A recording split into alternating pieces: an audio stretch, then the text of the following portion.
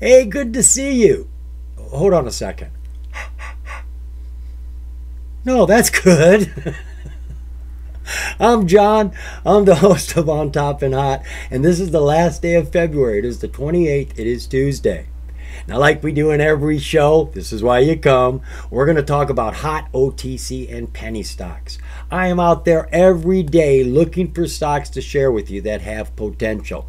Now, I changed things up here a while back, and I've been doing my primary due diligence looking for these hot stocks by looking at the charts first. And I'm actually looking at blind charts. It's not like I choose a company and then go look at the chart. No, I get up a scan and then just start going through every chart. I don't even know who I'm looking at. Then, when I find a nice chart that looks like it's ready to break out, I then learn what company it is and then go looking for what I call lingering news. This is news that came out, maybe a filing, maybe a month ago, eh, two months ago, and they're talking about an event that's going to happen in the very near future. So now, while the stock is calm and at a low price, it's a beautiful time to get in before that happens. We're sitting here when it does, we're going to get that launched. Well, that's the way we've been finding most of the stocks. But if there's a huge, big, hot piece of news that comes out, by golly, yeah, I'm going to follow that news. So, one of the stocks we're looking at today was a last minute change up. We are going to be looking at a stock that's got some big news, and you've probably heard of it before. You just haven't heard of it in a while. Now, all the stocks we're looking at are penny stocks. They're all under $5, regardless of what market they're on. And stocks under 5 bucks are on every single market. Now, when I do research on my stocks, particularly the OTC stocks, but honestly, I use it for all my stocks. I come here, the OTCmarkets.com website. First off, it's the only site I know of on the entire internet that is updated for every OTC stock by FINRA and the SEC daily, through the day, as a matter of fact. Now, they do this with a lot of sites for the major exchanges but I don't know of any others for the OTC. And they do bring in a lot of information about the major exchanges. So this is a perfect place to start your research. This is all current information. And if you just happen not to find what you're looking for, stuff happens, then you've got the internet. But by starting here, I assure you, you'll not only get more research done, you'll enjoy doing it. All right, let's take a look at how our OTC finished today. Oh, blimey, that is not looking good. Come on, we need a bump. Nothing? All right, our dollar volume, I think we're pretty much even about uh, 1.5. We're way below 2 billion. That's where we need to be.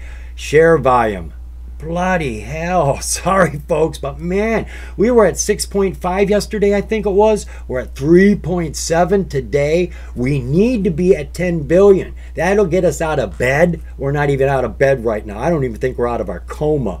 And our trades stifled virtually the whole month under 250,000 trades, which is where we were stuck as our floor.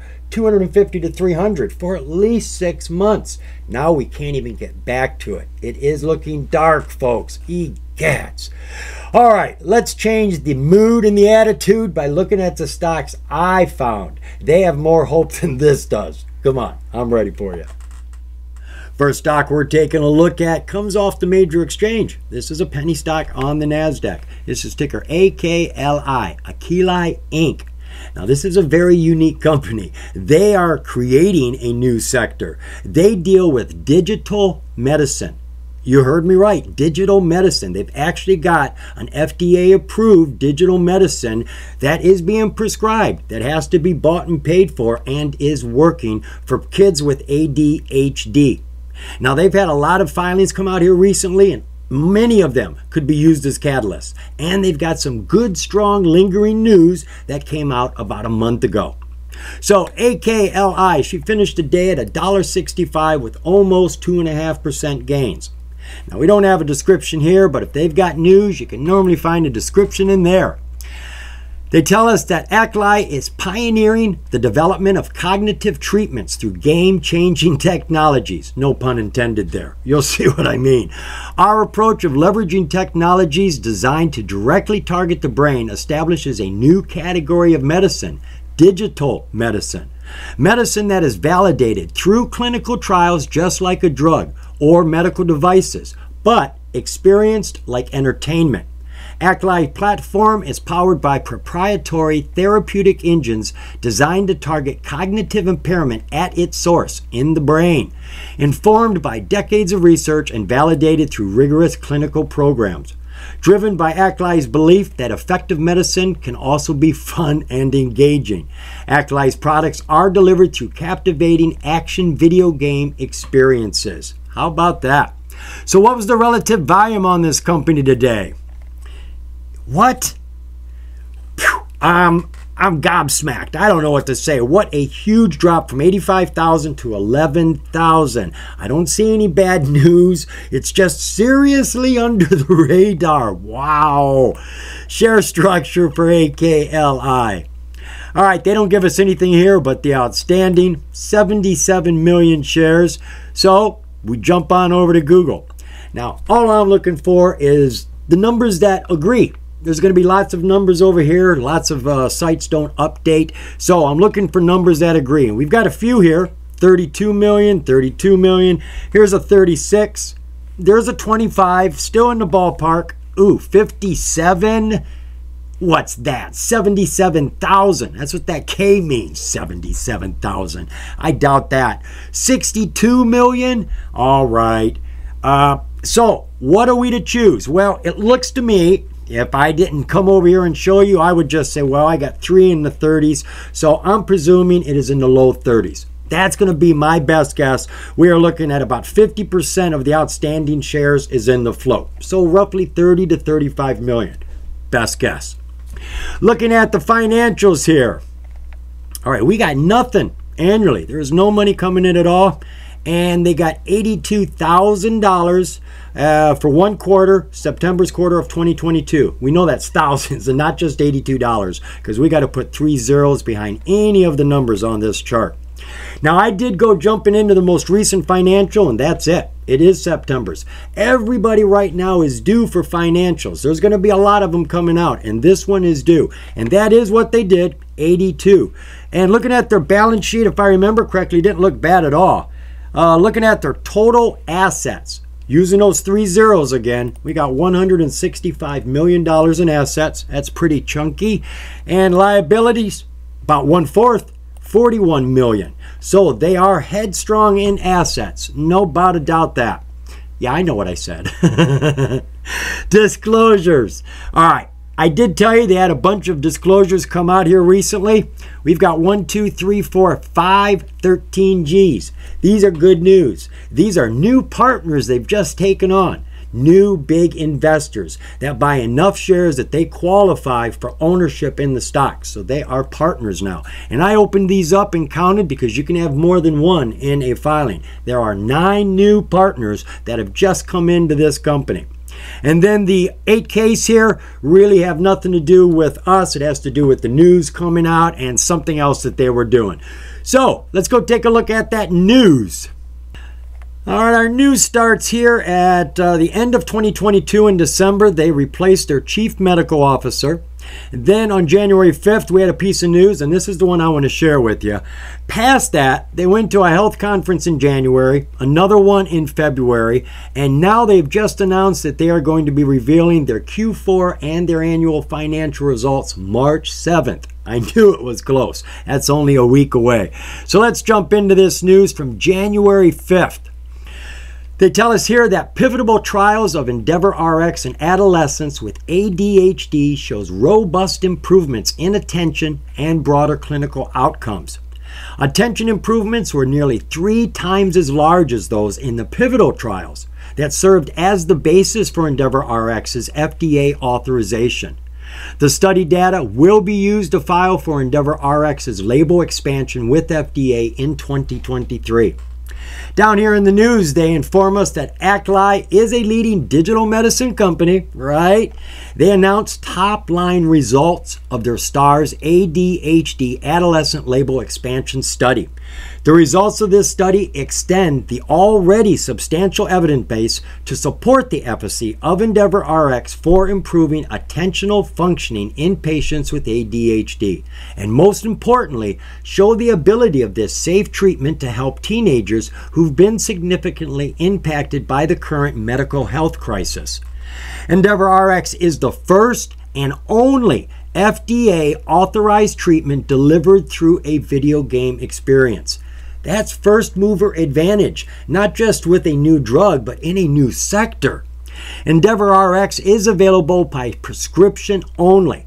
It is not intended to be used as a standalone therapeutic and is not a substitution for child's medication. The most common side effect observed in children in Endeavor RX's clinical trials was a feeling of frustration, as the game can be quite challenging at times. No serious adverse events were associated with its use.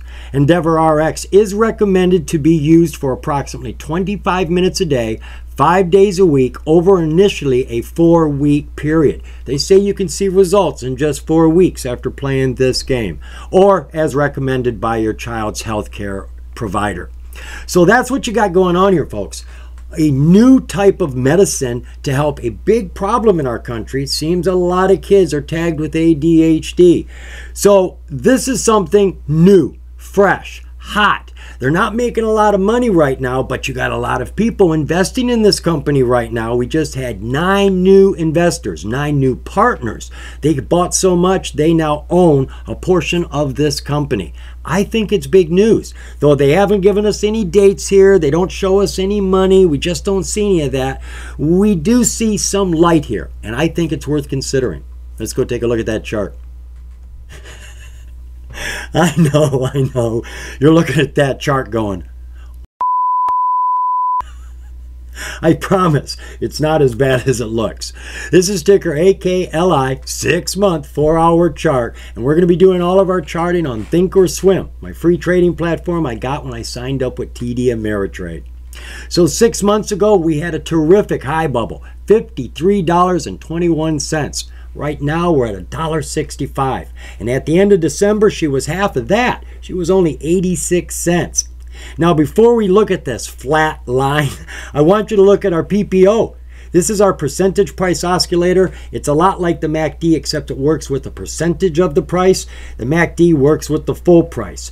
Pretty much you read them the same, but they do act a little bit differently. As you can see, our PPO has been climbing for months, and she has just had a crossover and looks like she's coming back up right now. Now let's take a look at this flat line. Zoom in on that, and as you can see, it's not flat. There's a lot going on there. It just looked flat compared to that huge drop we had. So she has been falling for a very long time. She's deep under her 200, underneath her 50, hit that low bubble, and changed her game. The downtrend is over. The uptrend has begun. It's jumped up onto her 50 day SMA, crossed the 200, maybe got a little bit too high right here, came back down to her 200, bounced on her 200, and it looks like she's going to try to bounce again. Now, what do our technicals show at this point? I see some recovery here. Our PPO, you can see it is just now starting to curve back up to get on top of that pink. And my ADX, this is my trend continuation. I want a straight line. As long as the line does not change direction, your trend doesn't change. Well, that's a little line because we've only had a little bit of uptrend. Well, these two are spreading apart. When you see a blue PPO and your red ADX separating, when you got that spread, Guaranteed, 100%, it is going up. So right now, things are looking good. Look at our crossover on our MACD, imminent, looking good. The only thing weak here is our RSI. It is down there at 45 right now. Well, the volume's weak too. the volume's real weak today. Let's take a look at our 20-day one-hour view. Oh, we had a hellacious climb here. Went from $1.44 over a 10 day spread, 10 days of climbing, hit $2.20, and then abruptly fell. Crashed through her 50 day SMA, bounced off of her 200, has been bouncing on it over and over again, and then lost her footing here Boy came down deep, straight across, and is rolling back up. She's sitting on top of her nine day SMA, right up underneath that 50. And it looks like the 50 is trying to curve around to get back up on top of that 200. And look, look at our PPO and our ADX. We got that spread, right? So that means the price is still pushing up right now. Our MACD is just now crossing the signal line and is on the right side of the other line. And our RSI is now climbing. It is up to 53. The uh, volume hasn't changed. five day, five minute. All right. Big drop here from $1.85 down to $1.46. Bounced before the end of the day. Has been going sideways, and right now she's making a move. Look, we got a huge bar here at the very beginning of the day. Not only did it break to 200, but it shot down and it touched that 50. A high, goodbye. A kiss for luck, I'm on my way. Boom! And she has now put herself right on top of the 200. That is a perfect setup right now. Now, I can't say we have a hot fire catalyst, but we do have some strong catalysts that could get this thing moving. The chart is set up. It only needs a little bit of push. AKLI looks good to me. I would keep my eye on it. Next stock we're taking a look at is ticker AMMPF, AmmPower Core. Now the chart looks pretty good, but it's not what I would call a breakout chart. It's more of a continuation chart. She hasn't got any filings to really consider, but she does have some huge news. So AMMPF finished today at just about 25 cents and almost 3% down. She's on the middle tier of the OTC, the QB, the better tier. It's better because they have to audit their financials to be here. That just makes them more trustworthy, more transparent. They've got a verified profile and a transfer agent verified. I'm always harassing you about these. If you're going to get into a penny stock on the OTC for a long hold, make sure you see these. There's a lot of important information being represented by these green ticks that's validated behind the scenes. The more validated information you got, the better. Now, if you're just playing this for a quick turnaround, don't you worry about that, none at all. They do have independent directors, no big surprise. Probably use them when they jumped from the pink up to the QB. You have to have independent directors if you're going to uplist. And if they want to go any higher, they're going to need them then too. So what does AMMPF do? Well, they tell us here the company is a mineral exploration company. But they did some restructuring. Jumping into one of their financials, they tell us that the company reorganized its business and assets into two distinct corporate divisions AmmPower Lithium and Mineral Resources, and AmmPower Ammonia and Alternative Energy. So, what is the relative volume around this company today?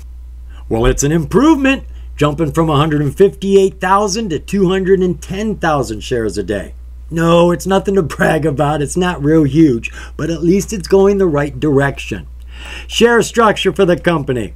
Got 151 million outstanding. Too many numbers to choose from from the float, so I did a Google search. Actually found a number that agreed a few times 53 million. Now, do I know for a fact it's 53 million? No, I don't. But they don't give us facts. We have to always extrapolate it. So I'm presuming. You want facts? I know it's under 151 million. But my hope is is that it's 53 million. Financials for the company, they suck.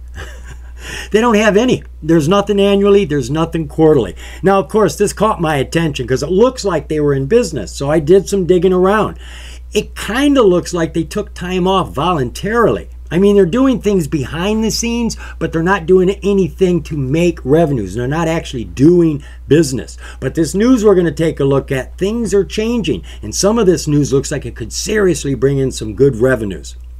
Looking at their disclosures, we're not going to see anything because it's bare. They don't have anything over here. So let's jump on into that news.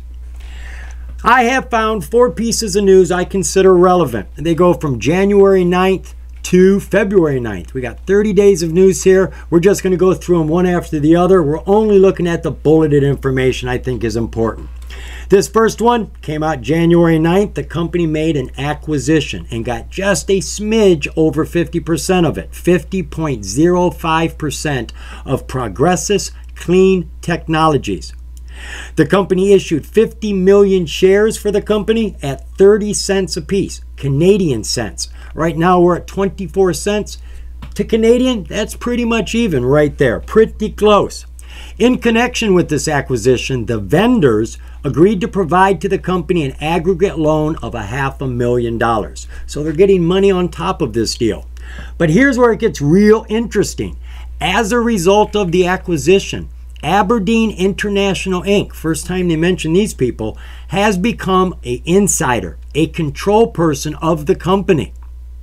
Aberdeen acquired ownership and direction or control of over 40 million company shares, representing approximately 27.35% of the issued and outstanding company shares.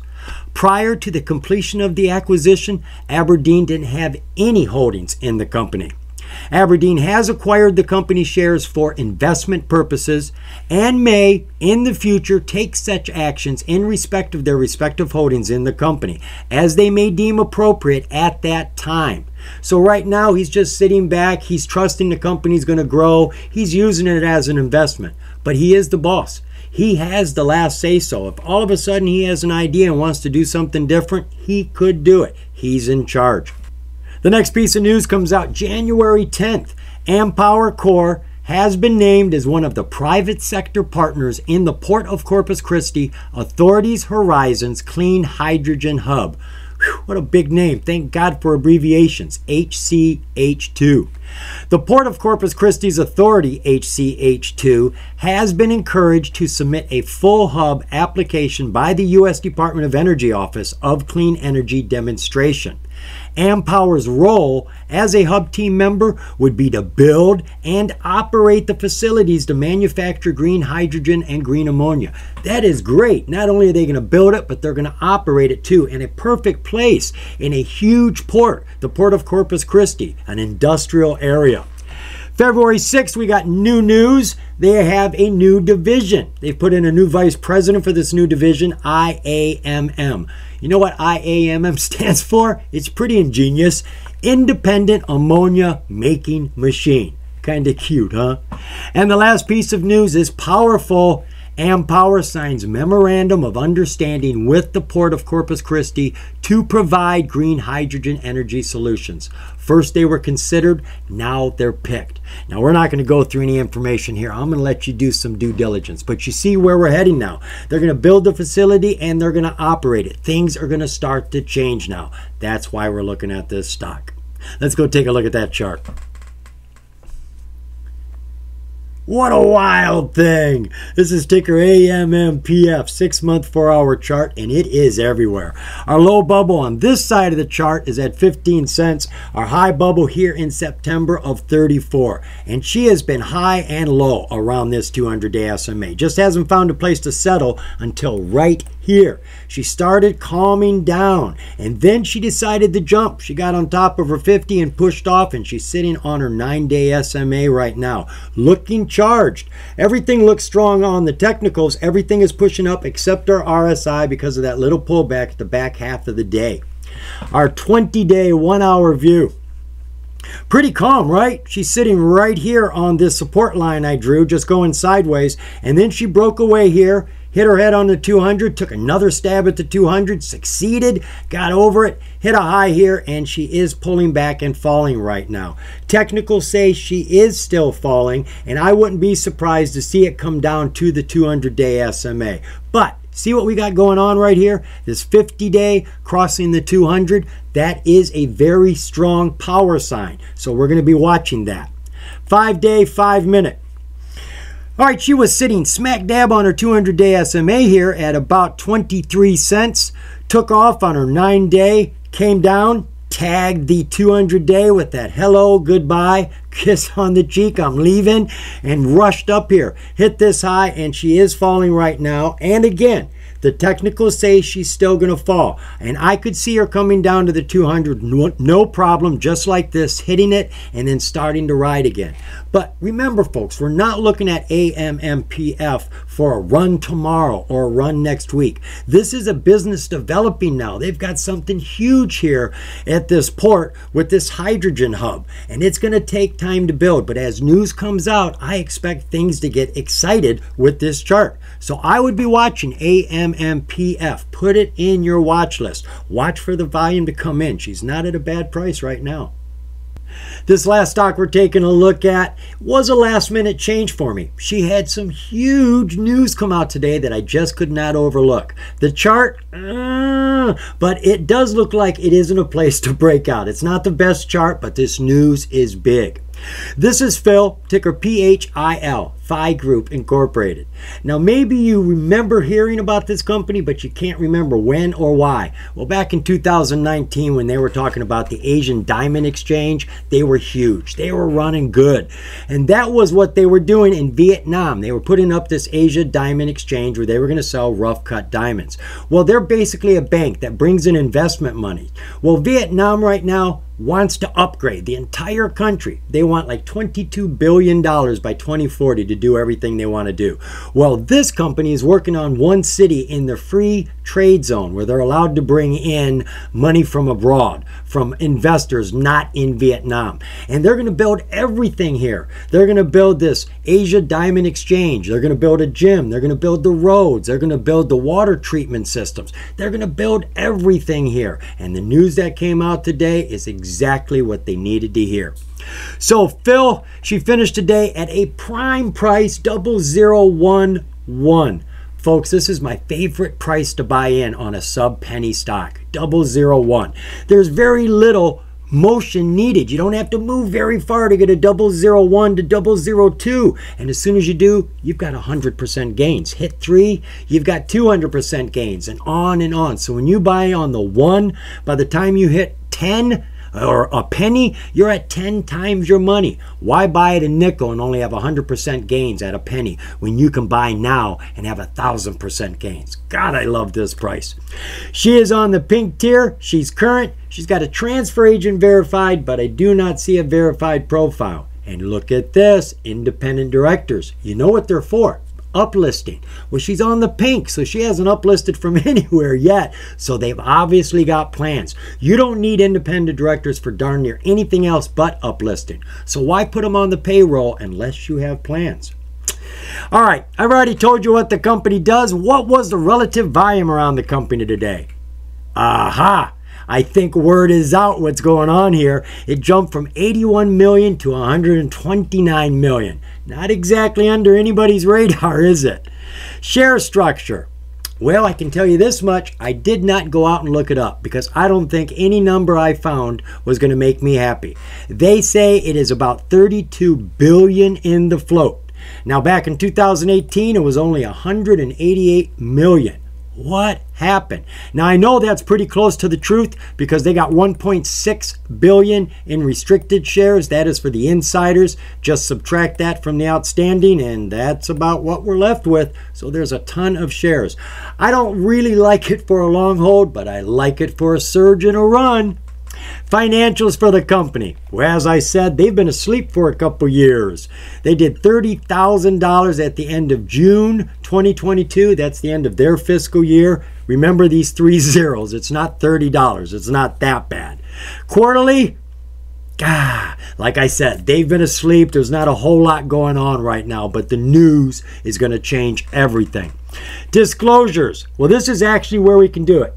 They do have a news press out, but I've already taken time to share this and I've got all the information highlighted just perfectly. It is this 8K right here that came out yesterday. Let's take a look at this. I put this up on Twitter. PHIL Phi Group, huge private investment a half a billion dollars to complete the entire Saigon Technology Park in Vietnam. On February 21, 2023, Philux Global Group signed an investment commitment agreement with Saigon Silicon City Joint Stock Company for a half a billion dollars to complete the company's entire development and investment program. All of it and if they need more money, it says right here, and subsequent additional capital as needed. So they've got all the money they need to finish their project. According to the investment commitment agreement, within 30 days of the signing of this agreement, the investors will provide or cause to be provided the first $50 million installment. And here we go. They're off and running, folks. So they got a half a billion dollars to work on their city, and they got $50 million of it already. And if they need more, they've been promised to get it. It doesn't get any better than that. Let's go take a look at that chart and see what we can get out of it. Looking at Phil, ticker PHIL, six month, four hour chart. See a huge M here. You know, it's like a mirror image. We hit a high bubble back here in August of 0026, hit the floor, triple zero one here in January, and right now she seems to be calm and doing a whole heck of a lot of nothing. She's been going sideways for about five days. Look at how flat our 50 day SMA is. She's even under the nine day SMA. The volume has been coming in, but it is diminishing right now. I would not be surprised to see that kick up. Our technicals are pretty planted. Everything is as flat as the bars are right now. Looking at our 20 day, one hour view. Had a huge jump here out of nowhere, you know, going flat and jumped from 0008 up to 002. You're looking at 250% gains right there. Then came crashing down, went underneath their 200 day SMA, underneath their 50 day SMA. But look, look what we got set up right here. That 50 day SMA is just about to go over that 200 day SMA. That is a power sign. And our price is on top of the 9, right underneath that 50. It's got its footing. It could jump and get up there. And our technicals say she's got power. We've got a crossover on our PPO just about about ready to happen. Our ADX is showing that the trend is continuing. It looks like it's a little green right now. We've got our nine day SMA pointing up. Had a crossover on our MACD. The green bars are accumulating. The only thing that's a little weak is our RSI at 52, but she's just going sideways.